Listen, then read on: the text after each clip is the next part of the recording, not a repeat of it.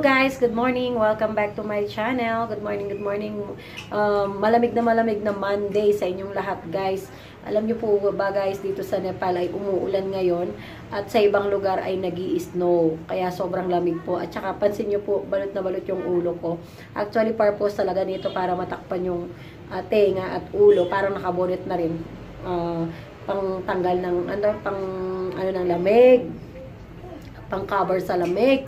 So, kaya lang, uh, double purpose po tayo ngayon kasi magagawa ako ng cake ngayon, birthday cake. Kasi birthday ng anak ng bayaw ko. So, para at least hindi, kumbaga, hindi, hindi ako naka-hairnet, naka-ano yung buhok ko at hindi uh, ano-ano sa ano sa cake na ginagawa ko, guys.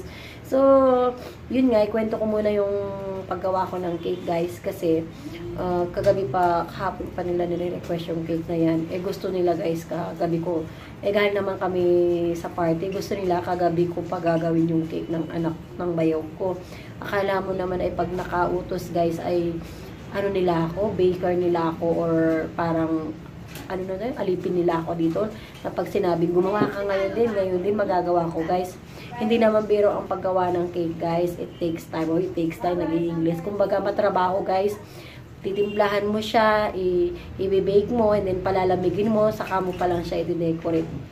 Eh, alas 7 na lang kami nakauwi kagabi, guys. Galing nga dun sa party namin na uh, yung pakain ni Lola Pretty.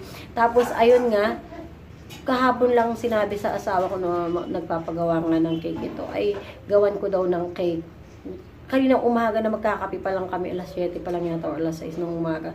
Pumunta na dito, tatanong, tapos na ba yung cake?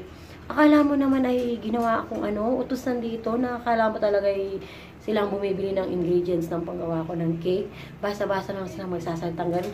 Ma, ano-ano mo talaga yung mga, hindi, hindi, hindi mo naman masasabing no read, no right. Kumbaga kulang lang sila sa good manners and right conduct kung, kung tawagin guys. Kasi kung ikaw ay may kahihiyan naman, ay pag nakikisuyo ka, ikaw ay mahiya at matuto kang maghintay, di ba guys? So yun nga na sinisira nila yung araw ko kaninang umaga.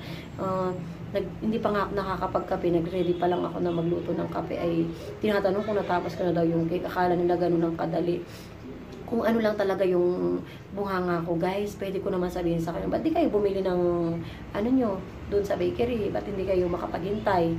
Gusto kong kung gusto ko lang silang mga semplangin guys ay ginawa ko na pero nagpipigil talaga ako guys kasi talagang ayaw ko talaga yung may issue-issue sa mga ganyang bagay lang.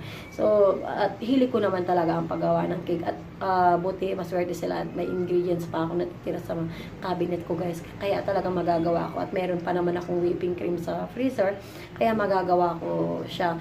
So, yun nga, na na-bake ko na after kung kahit nainis ako, na nailuto ko na sa oven, pero hindi ko pa siya na, na ano, na de-decorate. At saka yung, ano ko, yung uh, cake ko ang na-request nila guys malaki.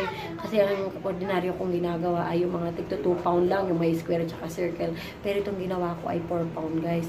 Pakita ko sa inyo guys yung na, na, na-bake ko na. At hindi siya kasya sa mga sapin na nabili kong mga pang sapin sa cake. So ang ginawa ko yung takip ng malaking lutuan namin binalot ko lang ng foil para ano para magkaroon ng sapin. Ayun yung cake guys. Pakita ko sa inyo ito yun guys, uh, takip lang ito ng lutuan nito kasi hindi nga kasya doon sa mga sapin. Uh, nga maya yan, hatiin ko muna yan at lalagyan ko ng cream sa loob and then saka ko pa lang siya i-frosting. Ganyan lang yung cake sa loob pero masarap daw yan guys. So mamaya ipakita ko sa inyo kung paano ko i-decorate ang cake ko. So ayan guys, nahati ko na yung cake. Chocolate vanilla ang ginawa ko dyan guys. Kalahati chocolate, kalahati vanilla. So nahati ko na siya, then sisimulan ko na siyang de-decorasyonan.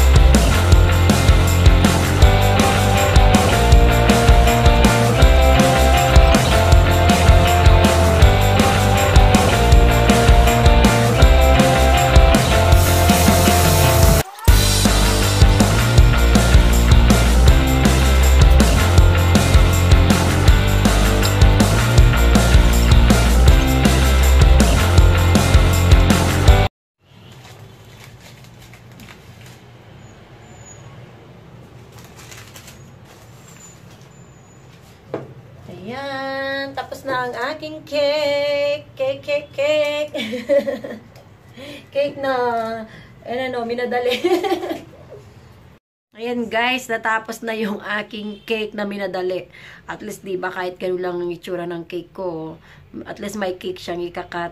Di ba, mamaya. Minadali ko yun guys kasi sinira yung araw ko kaaga-aga. Pero syempre, nawa naman ako dun sa bata kasi masaya yung bata kapag nagkaroon siya ng cake na ganun na may design guys. Uh, kung napapansin nyo, lahat ng mga cake na ginagawa ko ay iisang design kasi iisa lang yung, bali dalawa lang ang no-sell ko. Isang no-sell para sa pabulabula bulaklak at saka yung no-sell na para sa ano naman yun, sa pangalan guys, yung pantay lang siya, yung tuldok lang kumbaga. Uh, okay na yun, ma-appreciate na ng bata yun. Yan, tingnan nyo naman ang itsura ko guys. Lagi na lang akong dugyot ang itsura at pagod. Binalat ko talaga. Sobrang lamig dito guys kasi ang kapal ng snow dun sa kabilang parte ng ano ng Kathmandu. Uh, at saka dito talagang makulimlim mula umaga hanggang ngayong hapon na ay makulimlim pa rin hindi lumabas si Haring Araw. Tapos tingnan yung itsura ko talagang binalat ko. At ito yung favorite jacket araw-araw ito. Nilalaban ko po ito guys kung napapansin nyo kahit ganito lagi kong suot to. Komportable kasi ako dito. Tsaka syempre, um, malamig kaya ito yung sinusuot ko. Uh, pero malinis to guys.